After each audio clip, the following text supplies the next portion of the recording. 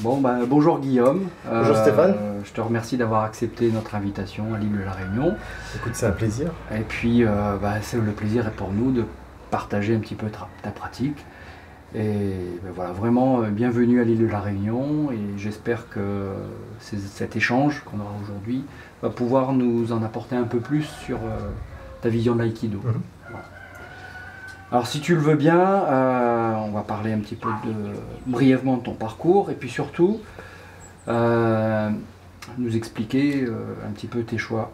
Donc ça fait à peu près 10 ans que tu pratiques le Daito Ryu Aiki Jujutsu. Ouais.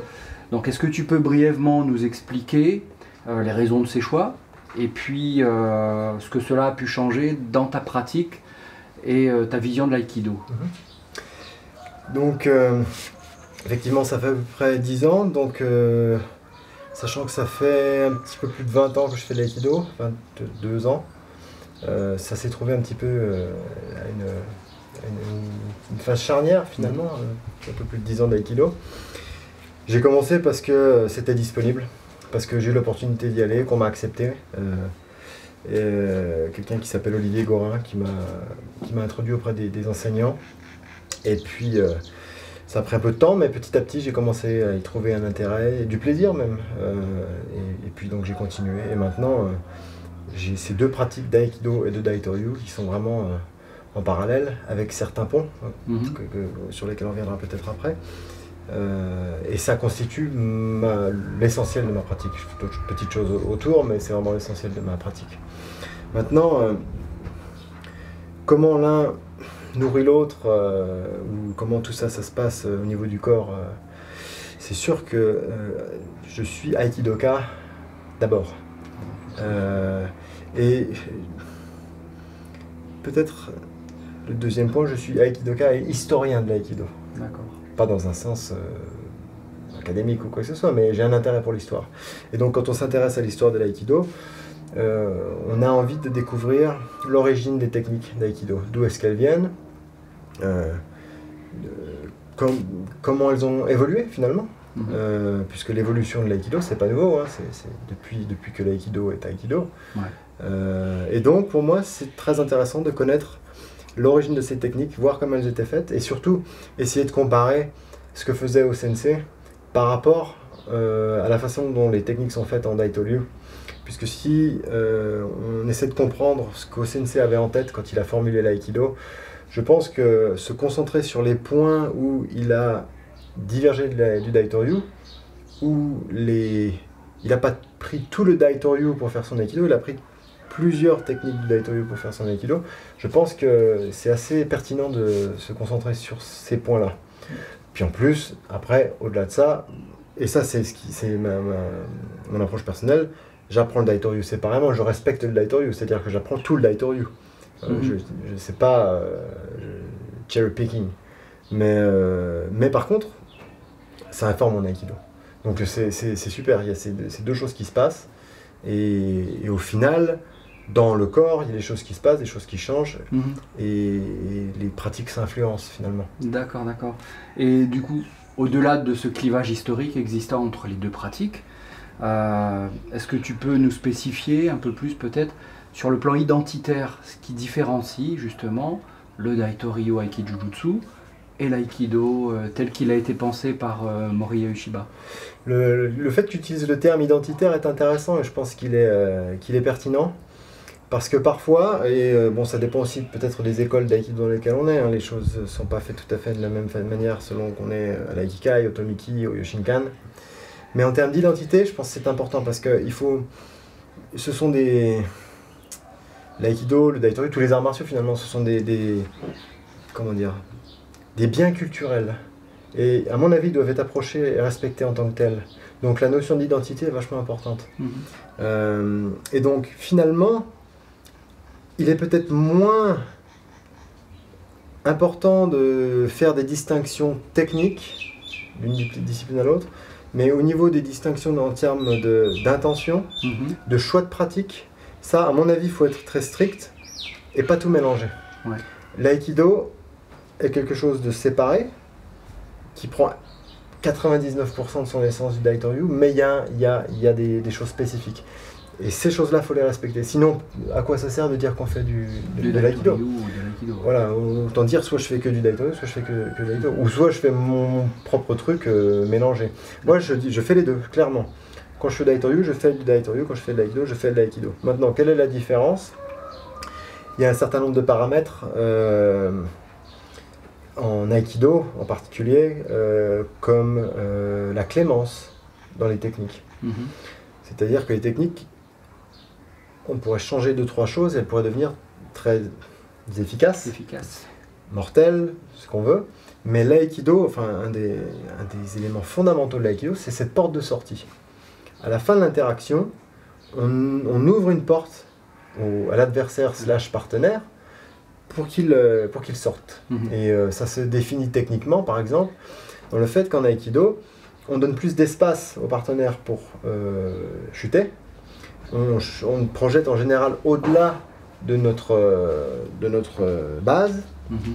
Plus d'espace, le partenaire peut, peut, prendre sa chute, contrôler sa chute et se relever. Et donc c'est pour ça qu'on développe beaucoup de en, en Aikido.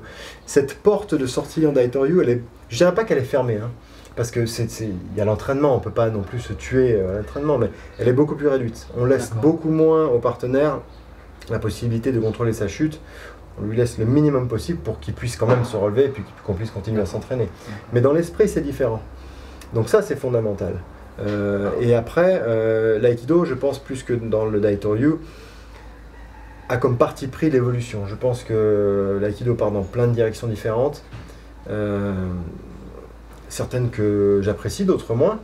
Mais en tout cas, je pense que c'est dans l'ADN de l'aïkido, cette évolution. Si euh, Ueshiba euh, voyait ce qui se fait maintenant, il y a des choses qu'il aimerait, d'autres qu'il aimerait moins, j'en suis certain.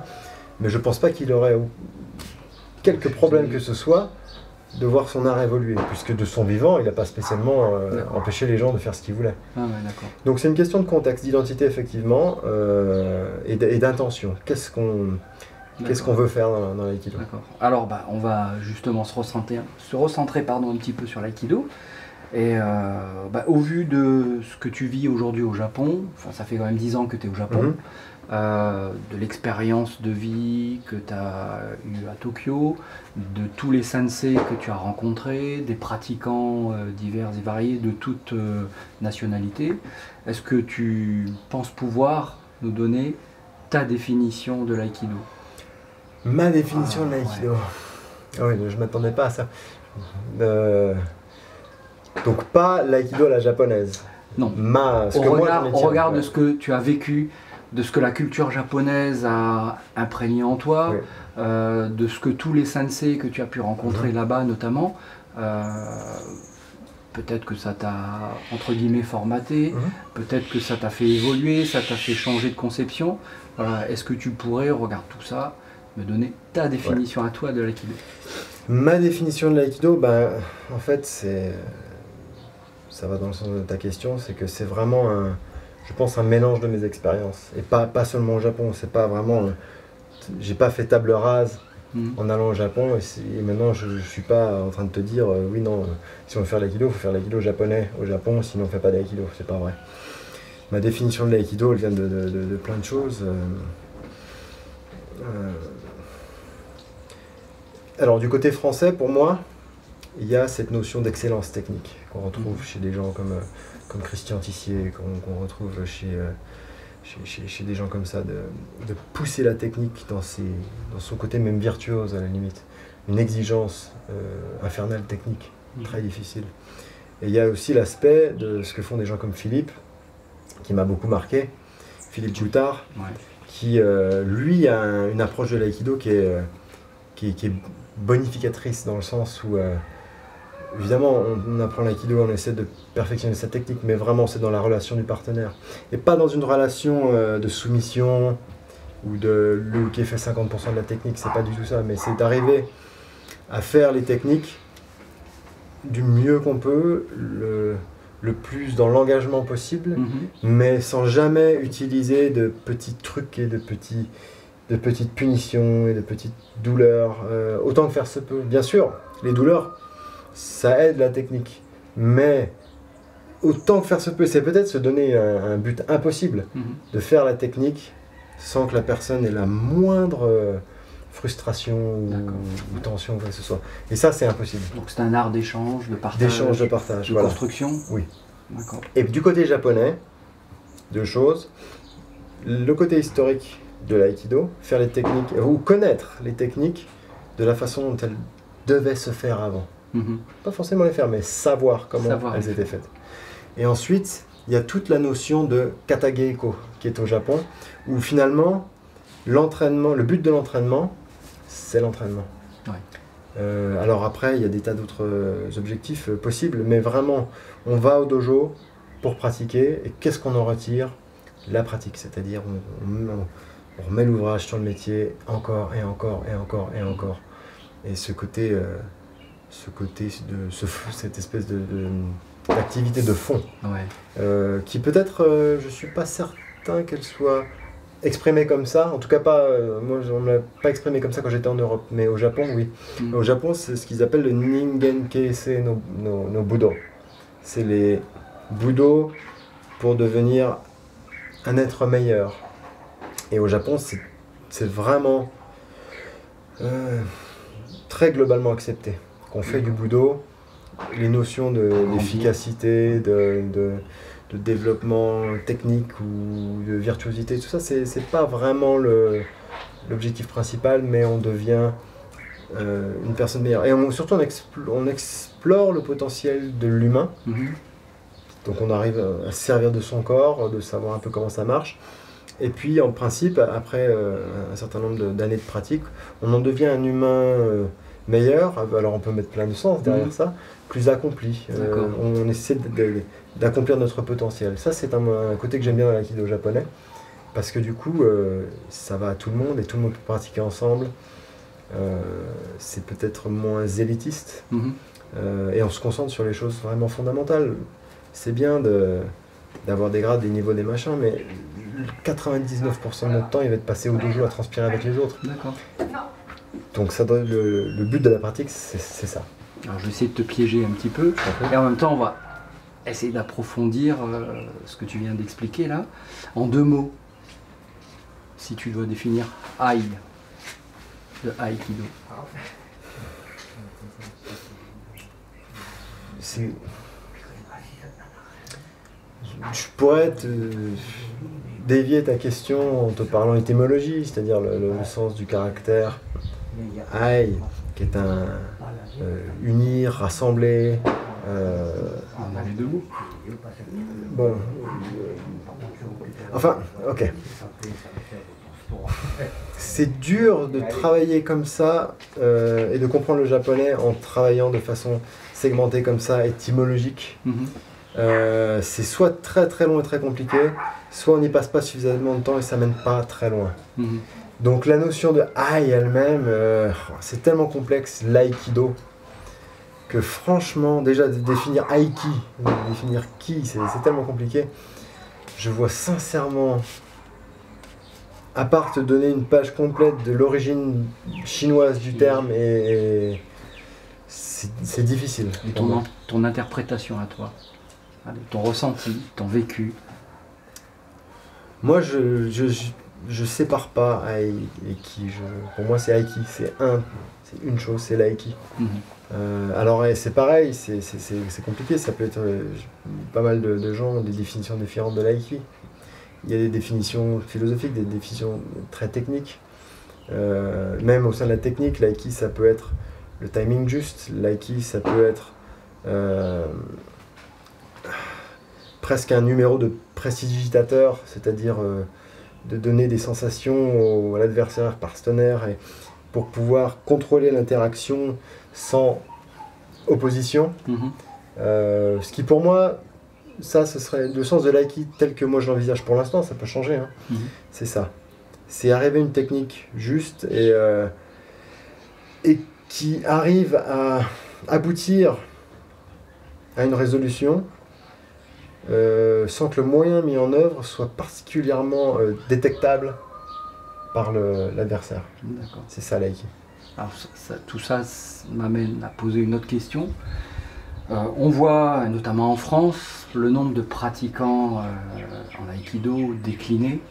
au profit d'autres arts martiaux ou de sports de combat réputés plus efficaces. Euh, quel est, au regard de tout ce que tu viens de nous expliquer là, euh, quel est ton regard euh, entre guillemets sociologique sur ce, sur ce fait? Et que penses-tu qu'on pourrait ou qu'on devrait faire pour euh, justement améliorer peut-être l'image de l'aïkido par rapport à ces autres arts martiaux ou sports de combat justement pour essayer d'amener des pratiquants, notamment les plus jeunes, les jeunes adultes, sur les tatamis? Alors, la question c'est est-ce que vraiment l'aïkido euh, propose de s'adresser aux considérations des gens qui cherchent l'efficacité? C'est la première question. Euh, certains aïkido peuvent. Euh, certaines formes de daitoryu peuvent, dans un contexte assez particulier aussi quand même. Mhm. Mais la question, si on parle d'aïkido global, si les gens qui vont. Alors je dis pas nécessairement que le MMA ou le système tout ça euh, répondent à ces questions, ça euh, c'est pas à moi de juger. Mm. Mais euh, est-ce que vraiment on veut présenter l'aïkido en tant que discipline à but pratique dans la rue? Est-ce que c'est vraiment le problème? Moi j'ai tendance à penser que non. J'ai tendance à penser que non, parce que l'aïkido, ça a été quand même formulé dans un contexte assez particulier d'après-guerre, où il y avait un rejet quand même euh, assez important des anciens arts martiaux, de tout ce qui était, ce qui était un peu guerrier. Mhm. Euh, donc euh, ça ne me dérange pas tellement finalement qu'on relègue au second plan l'efficacité. maintenant, l'efficacité, c'est-à-dire une technique qui marche sur le plus grand nombre possible, ça oui. Euh, mécaniquement. Mécaniquement. Mais est-ce qu'on parle d'efficacité, se défendre alors Il y a tellement de paramètres. Enfin, moi, je, enfin... Bah. Donc ça m'amène à poser une autre question. Mhm. Donc cette idée, selon toi, enfin selon moi, que le faible pourrait vaincre le fort en aïkido. Ça c'est plus important. Et alors comment tu perçois cette idée-là Et est-ce qu'au final, euh, on se trompe pas d'idée quelque part? Euh, Est-ce que le propos de l'aïkido, c'est vraiment être efficace? Si c'est le cas, qu'est-ce que signifie efficace? Euh, Comment on peut être efficace? Et euh, est-ce que ça peut s'adresser à tout un chacun, à tout le monde? Alors, pour répondre de façon très concrète, euh, ça revient un petit peu à ce, qu'on a travaillé cette semaine, un certain nombre d'immobilisations mhm.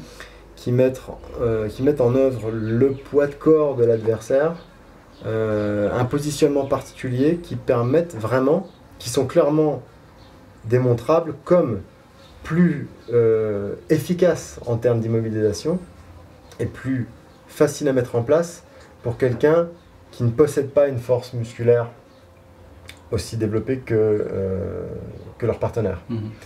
Donc il y a plusieurs façons d'immobiliser, mais il y a des façons qui, qui, sont vraiment, qui marchent mieux que d'autres, en particulier lorsqu'on est plus euh, faible physiquement. Mhm. Ça, c'est intéressant. Si on parle d'efficacité comme ça, moi, ça, ça m'intéresse. Mhm.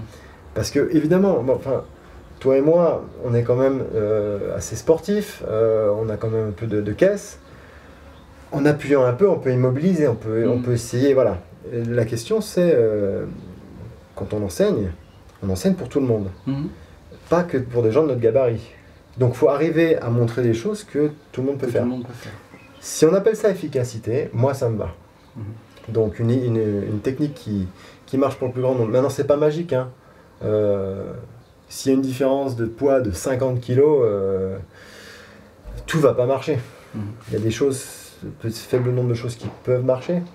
Mais en tout cas, tendre vers ça, c'est toujours pareil. C'est une quête d'absolu, peut-être, mais euh, on n'y est pas tenu. Mais le fait d'essayer de le faire, c'est intéressant. Alors, est-ce qu'au final, l'efficacité, c'est pas euh, chercher la quintessence de la relation, euh, c'est-à-dire euh, faire en sorte que les échanges entre les gens, entre les humains, entre guillemets, euh, aillent de mieux en mieux. Absolument. Alors la relation, il y a aussi, c'est pareil, tous ces termes, enfin, on pourrait passer des, heures à les définir avant d'en mm. parler. mais vu, vu que cette vidéo, je pense, à, un public plutôt francophone, mm-hmm. et peut-être a fortiori Joseph 3A. Il faut, faut peut-être voir ce qu'on entend par relation. Moi, j'entends pas par relation nécessairement une coopération pendant la pratique. Mm. Enfin, il y a une coopération, bien entendu, c'est du kata-gecko, mais le, je ne suis pas prêt forcément à pousser la coopération aussi loin que d'autres professeurs. Je ne dis pas que c'est pas bien, euh, mais je dis que moi j'ai choisi de pratiquer, et il y a un certain point au-delà duquel, euh, bon, quand on dit euh, ok, attaque Yoko Menuchi, bon bah ok, attaque Yoko Menuchi. Mm. Ok. Mais moi, j'attends pas d'Uke qui fasse 50% de la technique. Mhm. J'attends un Yoko Menuchi qui soit euh, clair, qui, soit, qui, qui, porte, qui ait un peu de, puissance. Et après, je me débrouille. Et euh, c'est à moi de, me débrouiller euh, dans, dans, ce contexte. mais j'attends pas d'établir des patterns par rapport à Uke, des, choses, des choses où vraiment on est dans un contexte où vraiment on est deux à construire la technique. C'est ma technique. C'est moi qui réponds. C'est ton attaque c'est ma technique et c'est moi qui réponds. Je, moi, je, vais jusque-là. Après, le curseur, on peut le déplacer. Hein. Dans certains cas, on va aller plus dans un, plus dans un sens, plus dans l'autre. Mais il y a vraiment un point au-delà duquel moi je ne vais pas. Mhm. Euh, donc euh, c'est pour ça que le terme relation, je sais qu'il est, il est utilisé par des personnes qui vont beaucoup plus loin que moi dans cette coopération euh, et qui utilisent le terme relation, mais c'est n'est pas moi ce que j'entends par mhm. relation. Maintenant, relation, c'est-à-dire dans le sens où bah, là, je viens euh, à la Réunion, c'est la première fois, c'est tout est nouveau, euh, les gens sont nouveaux. Mais moi, je, t'avais rencontré toi une fois, Yanis une fois, point barre. et donc, on a des aikido différents, on a des parcours différents. et donc, c'est c'est pas dans un instant T au niveau de la technique, mais c'est plus global sur une heure de pratique ensemble. Mhm. Arriver à se comprendre mutuellement euh, donc on n'est pas dans une relation, dans un mouvement particulier, mais on est dans une relation de se comprendre via l'aïkido et, euh, s'accepter, accepter les différences, euh, voir de la valeur dans les différences, mhm. et même les choses qui me qui me vont pas ou qui me gênent ou qui me parfois qui me qui me heurtent physiquement ou, pas. Allez, en travaillant, en bossant, en pratiquant, on va réussir à aller au-delà. Et pour moi, c'est ça la relation. Transcender tout ça. Voilà, mais pas, pas dans un sens nécessairement chorégraphique. Euh, c'est pas ça. je comprends bien. Alors, on va pas s'éterniser sur les mhm. définitions, puisque de toute façon, elles sont assujetties aux interprétations. Bien sûr. Mhm. Et euh, j'aimerais qu'on revienne maintenant euh, sur la pratique même au sein des dojos. Mhm. Alors, comment envisages-tu un cours dans un dojo?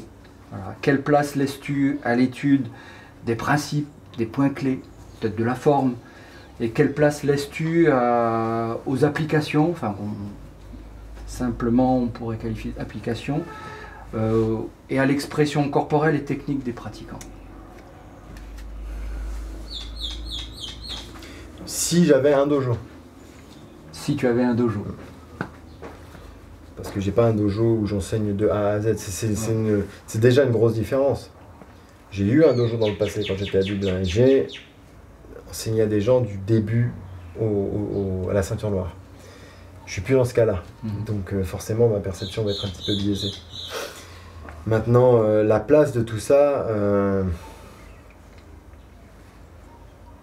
moi je considère que ma responsabilité, c'est de délivrer un bagage technique du mieux que je peux, aussi fidèle qu'il m'a été délivré à moi, Bien entendu avec mes choix, qui, euh, mes biais, euh, donc certains choix conscients, d'autres complètement inconscients qui sont dus à ma perception, à, mm. ma, à mon corps, à tout ça, mais en m'efforçant vraiment d'être très très très strict et dire d'où les choses viennent, puisque j'ai toujours cette dimension historique qui m'intéresse. Donc vraiment être très clair, ça, ça vient de là, ça, ça vient de là, ça vient de là.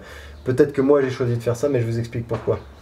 Et en fait, plutôt que de, vraiment segmenter les, différents degrés ou les différents paramètres d'instruction, je pense que si on s'efforce d'être extrêmement clair et d'expliquer tous nos choix, et si on n'est pas sûr de remonter la branche sur laquelle on est vers le tronc pour trouver une réponse qui est cohérente, je pense que là, on respecte nos élèves. Mhm. Quand il y a une question, pourquoi est-ce qu'on fait ça? Il devrait y avoir une réponse. Sinon, pourquoi est-ce qu'on le fait? Alors, mhm. si je ne sais pas pourquoi je le fais, pourquoi est-ce que je le fais? Mhm. Alors parfois, euh, la, la- la raison peut changer avec le temps, hein. Euh, mais euh, je pense que c'est vraiment ça le plus important dans un dojo, être capable de justifier ce qu'on fait. Et, et quand on, on, on en est tous là, on fait de la pub, il faut intéresser les gens, il faut, faut avoir des élèves, des stagiaires, parce que c'est notre responsabilité de, de- le flambeau de nos aînés et puis de faire que l'aïkido ben, puisse continuer à être pratiqué. Donc euh, il y a un petit degré de séduction aussi, hein, quelque part, c'est normal. Mhm. Mais dans cette séduction, dans cette promotion, qui n'est pas, un- pas un mot sale, hein, être complètement honnête avec nous-mêmes et avec les gens. Donc, si on fait de l'efficacité, bam, bam, bam, c'est pour les forces de l'ordre, c'est pour les videurs, machin. Si on dit qu'on fait ça, eh ben on fait ça. Et puis si on dit on fait non, on fait du pur Ningen Kese no Michi, on fait ça. Et puis si on fait un peu de l'un, un peu de l'autre, eh ben on est clair. Et ce que tu disais par rapport au, euh, euh, à l'identité et au contexte, eh ben à cet instant T, on est en train de faire ça, c'est pour ça qu'on le fait. Mhm. Plus tard, le cours d'après, on va faire ça. Et Je pense qu'on doit ça aux élèves et que tant qu'on est clair sur ce qu'on fait, euh, après les élèves ils sont intelligents, ils font leur choix. Mhm. Mais on leur vend pas du vent quoi. D'accord. On leur vend pas du vent. Et ça je pense que dans le dojo, c'est en tant qu'enseignant, je pense que c'est la chose la plus importante qu'on puisse faire. Mhm. Toujours être clair euh, sur ce qu'on fait. D'accord. Alors la, la- la question suivante est toute logique. On voit un peu partout dans le monde euh, émerger, entre guillemets, des- une génération de jeunes sensei euh, qui semble bousculer euh, ce paradigme du un sensei, un dojo. Alors penses-tu que le monde de l'aïkido aujourd'hui leur laisse suffisamment de place pour s'exprimer? Euh, au final, est-ce qu'ils peuvent trouver leur place dans le, le monde de l'aïkido tel qu'il est aujourd'hui? Qu'est-ce que tu pourrais préciser un peu le paradigme euh, un CC, un, sensei, un dojo? Eh bien que le- le- l'enseignant est responsable du dojo, c'est lui qui en a la charge, c'est lui qui assure les cours, euh, c'est lui qui fait vivre son dojo. Euh, voilà. Et par opposition, ces jeunes. Ces jeunes qui n'ont pas de dojo, qui n'ont pas de, Ah, ah d'accord, ok. Qui dojo pas ou voilà, encore de dojo. qui n'ont pas encore de qu'on fait dojo pour- ou et eux qui euh, voyagent aussi un petit peu à travers le monde et qui délivrent un petit peu leur enseignement. C'est difficile hein, parce que tu sais, euh, bon, il y, a deux- il y a deux points. Euh, déjà, un, l'aïkido se fait pour être pratiqué toute sa vie. Donc, on a les bénéfices et les inconvénients de, cette, Mhm. de ce paradigme. Si c'est fait pour être pratiqué toute sa vie, et si plus on pratique, meilleur on est, il est évident que les anciens, à haut grade, logiquement devraient rester responsabilité. Mhm. Ça me semble évident. Maintenant, il faut évidemment aussi penser à former les gens et à penser à la génération suivante. Mhm. Et je pense que c'est un gros problème pour l'aïkido en particulier, puisque l'âge de la retraite en aïkido est beaucoup plus tardif. Beaucoup plus tardif. Donc on a, on a un... Est-ce que c'est un problème? Peut-être peut que c'est un problème, je sais pas. Mais en tout cas, il faut vraiment se poser la question, ça c'est sûr. C'est dans l'ADN de, la, de notre discipline. Il faut... C'est difficile des deux côtés. Enfin moi, je connais bien le côté jeune euh, professeur, euh, voilà. Mais je me mets aussi dans les baskets des, des anciens qui ont essuyé les plâtres, qui ont, qui ont établi une pratique, euh, et qui peut-être qu'ils savent pas comment passer la main. Peut-être qu'ils voient pas en, en- en- dans, dans ces jeunes-là les qualités nécessaires. Peut-être qu'ils ont oublié ce que c'était Mhm. d'être jeune. Enfin, ta fédération, c'était ce que Christian me disait, c'était une fédération de gamins. Mhm. La question, c'est est-ce qu'elle est toujours une fédération de gamins? Probablement pas, et tant mieux. Mais est-ce qu'on a, est-ce que c'est toujours dans son, dans son cœur, dans son ADN, ça, cette, cette C'est idée de jeunesse et de, ouais. Euh, c'est difficile, c'est une crise identitaire, vraiment. Mhm. Euh, Au-delà de l'aspect martial, pas martial, efficacité, ce que c'est, je pense que c'est plus intéressant de discuter cette partie d'ailleurs, de cette crise de l'aïkido, qui est plus générationnelle, qu'on voit d'ailleurs au Japon par rapport au problème démographique du, Ouais. Japon, euh, sans faire de parallèle euh, non nécessaire, mais euh, c'est un problème intéressant et ça vaut le coup d'être discuté. Maintenant, moi, il faut que je sois conscient de ma position, c'est-à-dire que sans, pas- sans forcément le vouloir, mais moi j'ai toujours été un électron libre. Mhm. Je me suis jamais heurté à une hiérarchie. Mhm. Euh, bon, il y a les hiérar- hiérarchies au Japon. Il y a Doshu, il y a les, les Shihan. On, ne saute jamais un, un cran. Tu as commencé à telle date, tu seras toujours euh, En dessous. en dessous de telle ou telle personne. Et ça, alors ça, c'est clair. Ça, ça repose, hein, sincèrement. Mhm. Euh, mais bon, ce serait un peu facile pour moi de te dire euh, ah bah oui non faut, faut renverser tout le système parce que oui moi moi, je suis pas dedans puis il n'y a pas besoin puis machin. Non attends le, système a fait beaucoup de bien à l'aïkido. S'il y a autant d'aïkido en France et de bons pratiquants parce que l'aïkido français a pas du tout à rougir de l'étranger euh, ni du Japon. Faut pas non plus parfois les Français croient qu'ils sont un petit peu meilleurs que les autres mais pas non plus abuser non plus mais enfin c'est parce que le c'est le parce que s'est rassemblés Mhm. qu'on a pu avoir accès aux, aux tatami, aux salles, euh, des, des subventions, des gens qui ont été formés, des, Mhm. des gens qui ont été au Japon, des gens qui n'ont jamais été au Japon, mais qui ont autant d'expérience. Donc, faut pas tirer sur l'ambulance. Mhm. Mais c'est vraiment une discussion qu'il faut avoir tous ensemble. Tous. Ouais. Mais vraiment, oui.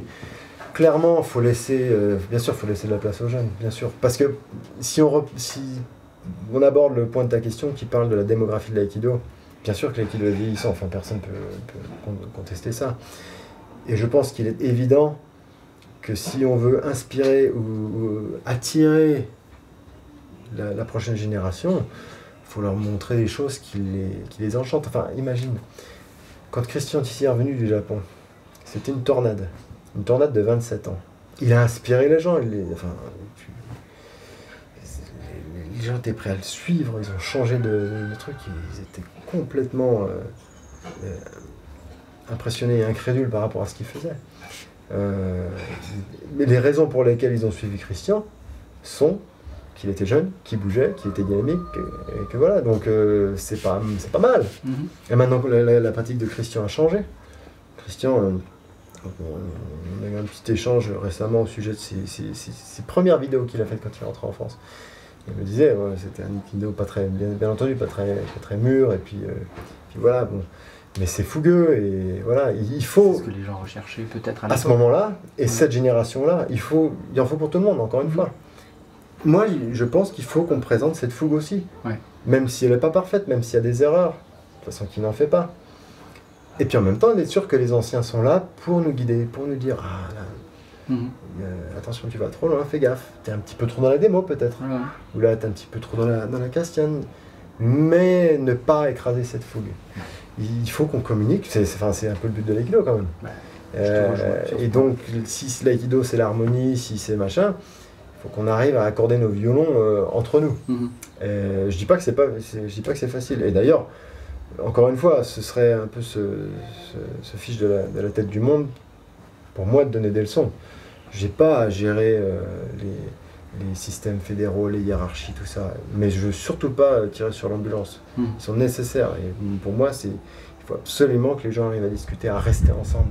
Ouais. C'est trop facile de, se barrer et puis dire non, non, euh, les fédés c'est nul, euh, moi je vais, je vais sauver l'aïkido tout seul, euh, puis suivez-moi. Non, C'est compliqué. Il faut rester ensemble. faut rester- Ouais, clair. On va changer de sujet. Mhm. Euh, tu as récemment été promu au 5e Dan. Mhm. Comment perçois-tu cette promotion? Et plus précisément, euh, qu'est-ce que tu penses? Alors, je mettrai des, des- des guillemets de cette quête menée par certains pratiquants, euh, cette quête au grade. Ouais. D'accord? C'est- C'est presque le Graal. Et on voit aujourd'hui beaucoup de pratiquants courir après ces grades, chercher à progresser, le premier, le deuxième, etc. Euh, Est-ce que tu pourrais nous éclairer un petit peu sur le système d'attribution des grades tel qu'il est organisé au Japon? Et euh, si tu en as une idée, euh, est-ce que tu vois une concordance euh, avec ce qui se fait notamment en, France et au sein de l'UFA? Alors clairement, euh, est-ce qu'il y a une concordance entre les grades au Japon et les grades au sein de l'UFA? Euh, Il y a des différences, il y a des grandes différences. Maintenant, encore une fois, j'ai jamais passé le grade du UFA. Donc je ne sais pas ce que c'est moi de me retrouver devant un jury. Je ne dis pas qu'il n'y a pas d'avantage dans, dans- dans- grades du UFA d'ailleurs. Parce que se retrouver dans un jury de gens qu'on ne connaît pas, c'est autrement plus stressant.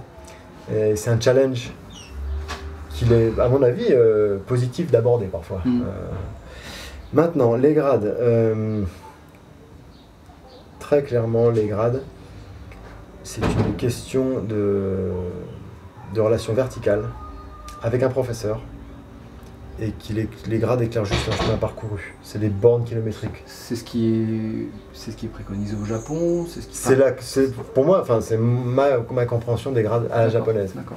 Tu conduis, tu poses une borne. Tu avances, tu poses une borne. Donc qu'est-ce que ça C'est juste que tu es vieux en fait. Mhm. Tu es vieux dans le système. Et d'ailleurs, les grades en général au Japon, à partir du moment où tu commences, tu passes des grades euh, régulièrement. Mais euh, il y a des délais de temps. Bon, y il y, a des critères techniques aussi, mais pas seulement. Et euh, en général, euh, si les gens continuent à pratiquer, il est assez inconcevable de penser que tu puisses arriver à un grade supérieur qu'une personne qui a commencé 5 ou 6 ans Mhm. avant toi. Mhm. Euh, parce que c'est un peu réglé comme du papier à musique. Euh, en particulier à partir de- des- du quatrième dan où du coup c'est vraiment une question Ouais. d'année. Donc du coup peut-être qu'il y a moins la tentation de, de vouloir passer des grades rapidement. Et surtout, comme les grades euh, expriment une relation verticale, ils sont pas comparables horizontalement. Mhm. Parce qu'on nous octroie un grade. Pour un même professeur, il octroie un grade pour des raisons X ou Y. Technique, mais pas seulement.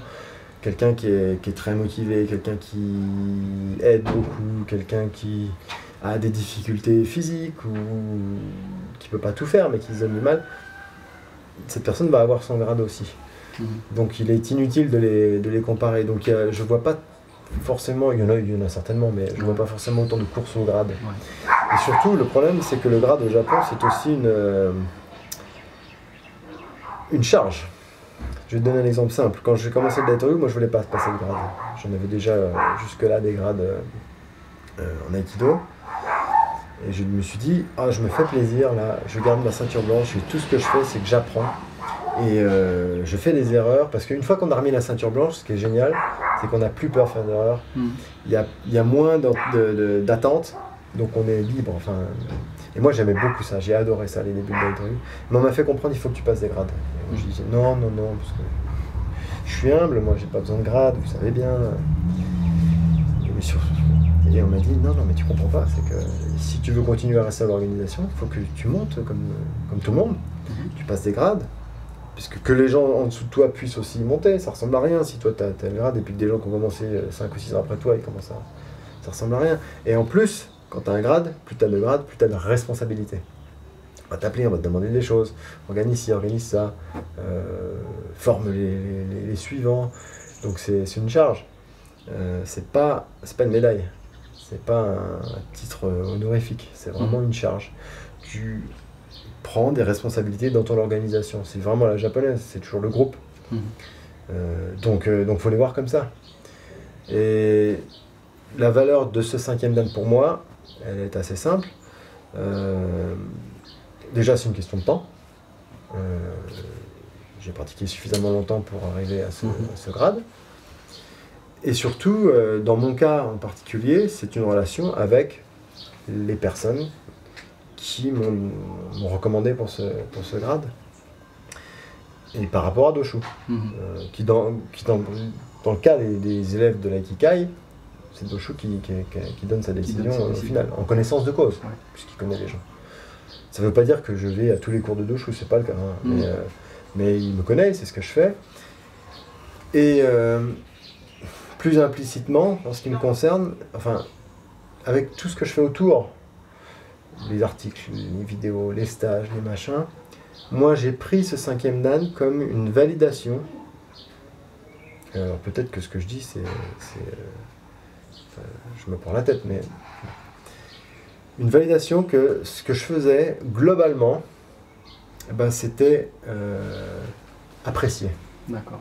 Pas tout. Ça, je peux te garantir que Pas tout. pas tout ce que j'ai fait a été apprécié ni par l'Aikikai, ni par Doshu, ni par, ni, ni par d'autres euh, personnes, mais que globalement, Mhm. si vraiment ils avaient eu un problème avec ce que je fais, ben, je serais resté quatrième dame ad vitam aeternam. Donc ça m'a un petit peu donné un petit peu de, de- de confiance en moi. Je me suis dit, apparemment, on considère, euh, Doshu considère, mes professeurs considèrent, que mon action dans l'aïkido est plutôt Bénéfique. bénéfique, plutôt positive. Avec des erreurs, des ratés, des incompréhensions, ça c'est évident, Mhm. mais plutôt bénéfique. Et donc, euh, et donc ça, je suis content. parce que c'est des heures de travail évidemment. et, moi, c'est ma passion, ça me coûte pas. Hein. je veux pas, pas sortir les violons, je le fais parce que j'aime le faire. Mais je suis content si je peux aider le paysage de l'aïkido, si je peux aider l'aïkido, et, et, ben, c'est ben, le plus important pour moi. Et donc, Doshu qui signe ce grade, j'ose penser qu'il y a un petit peu de ça. D'accord. On va, poser une dernière question, d'accord Faut pas s'éterniser. Et euh, cette dernière question portera sur l'entraînement et ou l'étude de l'aïkido. Alors je pense plus particulièrement à la progression de nos pratiquants, d'accord euh, Dans les clubs qui sont soucieux de progresser, euh, de s'entraîner, voilà. Pour toi, quel serait euh, l'entraînement idéal, entre guillemets? Et par là, ah, je ne veux pas être péjoratif, hein, mais euh, dans cette question, j'entends bien que tu nous précises ce qui caractériserait pour toi un bon aikidoka et peut-être même et surtout un bon sensei. Ok. Alors c'est simple, un bon aikidoka, c'est quelqu'un qui pratique pour la pratique chacun a des facilités euh, intellectuelles ou physiques pour appréhender la, technique ou, d'autres paramètres. Euh, mais quelqu'un qui se fait plaisir sur le tapis,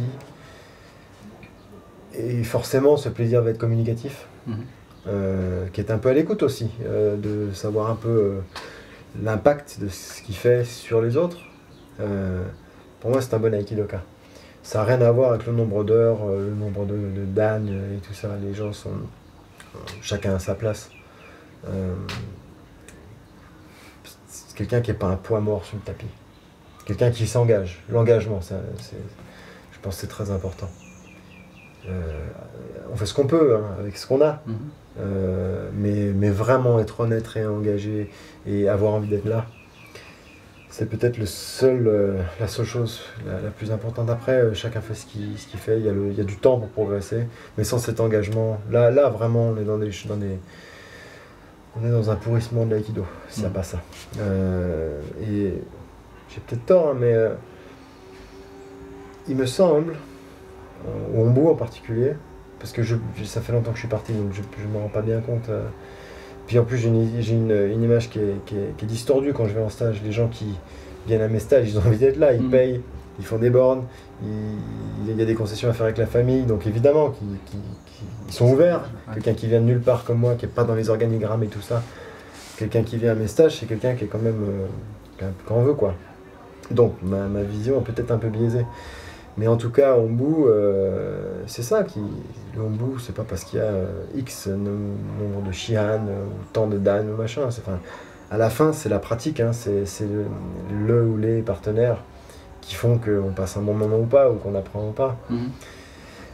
Euh, malheureusement, en ce, en ce moment, et je me demande si l'engagement est tout à fait le, même qu'il était. Alors, ça fait un peu vieux con de dire ça. Hein. Enfin, je veux dire toutes les générations ont dit ça, des générations euh, postérieures. Mais quand même, mais quand même. Euh, il me semblait revenir un peu à la fougue, tu vois. Pour la jeunesse surtout, pour les jeunes. Là, là, je peut-être que je suis critique, mais alors si je vais, si je suis critique, je vais être critique pour les jeunes, les gens de ma génération et, et plus jeunes. Ceux-là devraient avoir la fougue. Ceux-là devraient y aller, puis faire les erreurs et tout ça c'est un petit peu. On l'a joué un peu safe. Mhm. En ce moment, pour moi, la question c'est pourquoi? Euh, enfin, je me souviens, moi, à une époque, euh, quand on passe premier ou euh, qui que ce soit qui passe premier quai du prof en début de cours, il y a moins 3 ou 4 personnes qui lui foncent dessus pour essayer de s'entraîner avec dès que, dès que le professeur a tapé dans les mains. Mhm. Ça, je le vois plus. je le vois en tout cas beaucoup, beaucoup, beaucoup moins. Euh, moins d'énergie. Euh, des gens qui font des heures. Alors ça, il y a des gens qui font des heures, ils vont faire 5 heures par jour. Mais à mon avis, euh, ils font pas leur heure telle que moi je la fais. Hmm. Et on est au-delà de l'aspect physique. Hein. Hmm. Moi, moi j'aime bien l'aïkido physique, il n'y a aucun problème. Hein. Quand j'ai un partenaire qui, que ça intéresse, on y va. Mais au niveau intensité, l'attention, la concentration, le zanshin, tout, tout ça, ça, est fatigué après, après une Ah, heure. clair, euh, ouais. on se concentre. Ah, Après, s'il n'y a pas ça, bah, du coup, on peut vraiment enchaîner les heures, les heures ouais. Euh, mais est-ce que ça a du sens? Mhm. Je suis pas sûr. Donc, il faudrait mettre un peu de ça, un petit peu d'intensité, un petit peu d'intention, un petit peu de fougue aussi. Et donc, du coup, les générations intermédiaires tout leur rôle à jouer là-dedans, sur un tapis. Moi, je comprends très bien qu'à partir du moment où on a 60 ans, 70 ans, euh, bah, on peut plus faire les mêmes choses. Voilà. Ouais. Mais il faut que l'éventail soit représenté. Mhm. Donc euh, pas trop dans un sens, pas trop dans l'autre non plus. On se jette pas comme, comme les murs comme des, comme des chiens fous, mais en même temps, euh, on fait pas de l'aïkido de gens de 70 ans, on n'a pas 70 ans. Mhm. Donc encore une fois, il faut qu'on soit tous ensemble. Tous ensemble. ouais. Ouais. Et un bon sensei? Un bon CC, c'est très simple. C'est quelqu'un qui est honnête. Euh, quelqu'un qui dit, moi, ma perception de l'aïkido, c'est ça. Ma technique est censée faire ça, ça, ça, selon ces points-là, ces points-là, ces points-là, et il montre ça. Mhm. La plupart du temps, on a tous nos incohérences, hein, bien évidemment. Mais il s'efforce d'être le plus honnête possible par rapport à ça. Et ça, pour moi, c'est un bon sensei. Mhm. La technique, on s'en on s'en fiche. hein. Les, les, les sensei qui ont fait naître l'inspiration dans- dans- chez nous tous, c'était pas forcément les plus techniquement euh, les plus virtuoses. Mhm. Euh, mais c'est des gens qui ont su transmettre quelque chose, qui n'ont pas déçu, Voilà, ni techniquement, ni humainement. humainement. Et la déception vient souvent du fait qu'on s'aperçoit qu'on avait une image qui nous a été projetée, ou qu'on s'est faite, c'est un autre problème, et que petit à petit il y a un décalage. Et là, la déception arrive. Et soit on change de professeur, dans le meilleur des cas, soit on se dit, bah non, mais l'aïkido euh, tient pas ses promesses. Mhm. Non, c'est pas l'aïkido qui tient pas ses promesses. L'aïkido tient ses promesses, il y a- il y, a de quoi faire. hein. Mhm. C'est nous qui tenons pas nos promesses. Mhm. Donc s'efforcer de tenir nos promesses. D'accord. Mais euh, nos promesses, c'est nos promesses. hein. C'est pas parce bah que oui, le, le type de gens en face euh, dit l'aïkido c'est ça, que ça doit être nécessairement ma, ma définition. Mais pas, quelle que soit ma définition, par contre, alors là, j'ai intérêt à, j'ai intérêt à m'y tenir. D'accord. Et pour toi, l'entraînement idéal, tu es élève, tu assistes à un cours, l'entraînement idéal, c'est quoi Bah, L'entraînement idéal, c'est. euh, alors, de, de préférence, une heure avec le même partenaire, Ouais. comme au Japon. Ça, j'aime bien parce qu'on peut poser le truc, on peut établir la, la relation. Vraiment, la relation, dans, dans- dans le sens que dans- moi je la vois. Et idéalement, avec quelqu'un euh, d'assez différent. Peut-être, je vois la technique et je me dis, ouh. Et idéalement, eh ben, au bout d'une heure, on s'est compris. Euh, Mhm. On s'est compris ou alors on s'est accepté. Euh, ça ne veut pas dire qu'on va s'entraîner euh, à chaque fois ensemble, ça ne veut pas dire qu'on va aller manger ensemble après, ça n'a rien à voir. Mais via l'aïkido, on a réussi à se rapprocher. D'accord. Bah écoute, je crois qu'on va s'arrêter là, sinon on pourrait poser des questions, des questions, des Mhm. questions. En tout cas, euh, personnellement, moi je te remercie. Le club, euh, l'Aikido Club de Saint-Pierre te remercie euh, d'avoir prêté attention à toutes nos questions. Euh, et puis, plus que tout, on veut te remercier d'avoir accepté encore une fois cette invitation, de mettre autant d'engagement dans l'animation du stage que tu, tu mènes en ce moment. Et puis, ben, voilà, ben, moi j'espère, et enfin nous espérons que cette expérience va enrichir ton parcours. euh, voilà. Certainement. Voilà. Certainement. Donc, et que cette rencontre, du moins, enfin, avec euh, les pratiquants réunionnais notamment, euh, t'accompagne jusqu'au Japon, Absolument. à travers tout le monde. Absolument. Voilà.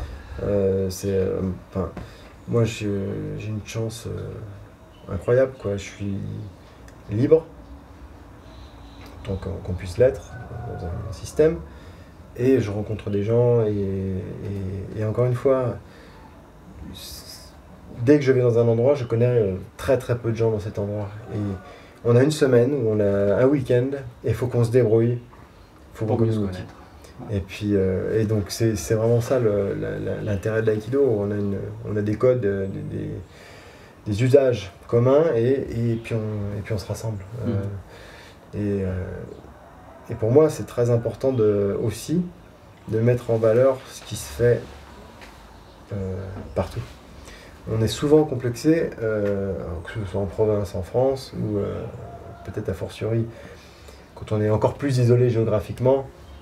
Est-ce qu'on a le niveau technique? Est-ce qu'on suit? Est-ce où est-ce qu'on se place par rapport aux autres et tout ça? Et moi, je suis toujours surpris que la qualité de la pratique, niveau technique, euh, bon, si, si le maximum c'est quatrième dan et qu'il y a deux quatrième dan et cinq troisième dan, évidemment que le niveau technique va être inférieur d'un dojo où il y a, il 3 sixième dan.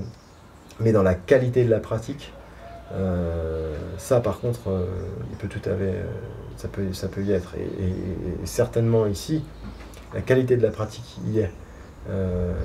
L'intention. Et moi, donc, tu m'as posé toutes ces questions au sujet de ce que je considère un bon prof, du bon aikido, de bon entraînement. Et, je suis très content de pouvoir dire que bah, moi, ce que je vois ici, c'est ça, coche les cases. Quoi.